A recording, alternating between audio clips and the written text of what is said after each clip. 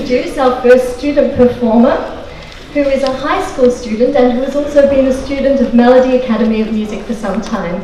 Please join me in welcoming Karina Chin.